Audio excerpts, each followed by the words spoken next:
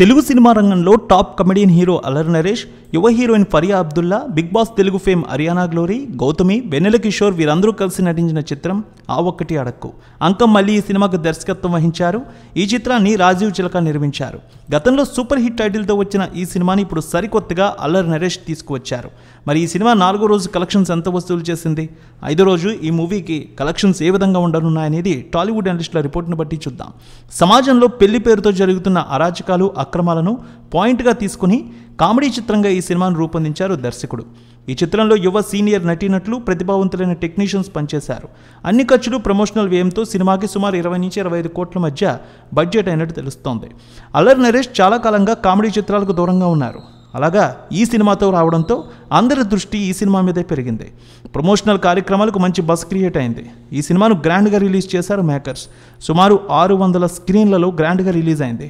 ఆ ఒకటి అడక్కు సినిమాకు మంచి ఓపెనింగ్స్తో బాక్స్ ఆఫీస్ జర్నీ మొదలుపెట్టింది పాజిటివ్గా.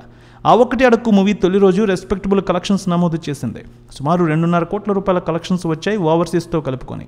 దాదాపు నలభై నాలుగు శాతం మధ్య ఆక్యుపెన్సీ అయితే తొలి రోజు అడ్వాన్స్ బుకింగ్స్ బట్టి కనబడింది. రెండో రోజు అదే జోరు. శనివారం కావడంతో ఈ సినిమాకి రెండు కోట్ల రూపాయల వరకు వసూళ్ళు వచ్చాయి.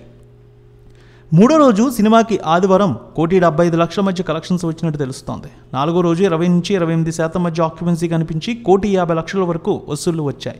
ఇక నేడు ఇరవై రెండు నుంచి ఇరవై నాలుగు శాతం మధ్య ఆక్యుపెన్సీ కనిపిస్తోంది అడ్వాన్స్ బుకింగ్లో సుమారు కోటిన్నర వరకు నేడు కలెక్షన్స్ వచ్చే అవకాశం ఉందంటున్నారు ఎనలిస్టులు ఈ మూవీలో అల్లరి నరేష్ పెళ్ళికాని ప్రసాద్ పాత్రలో నటించారు.